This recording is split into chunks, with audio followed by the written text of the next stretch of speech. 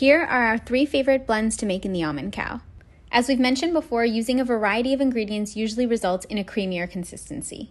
We've tested so many blends, and while there are lots of delicious ones, our personal three favorites are Cocoa Cash, which is made up of coconut and cashews, Pea Cashew, which is made up of pecans and cashews, and Coconut, which is made up of coconut and oats. Do you have any favorite blends? Let us know in the comments.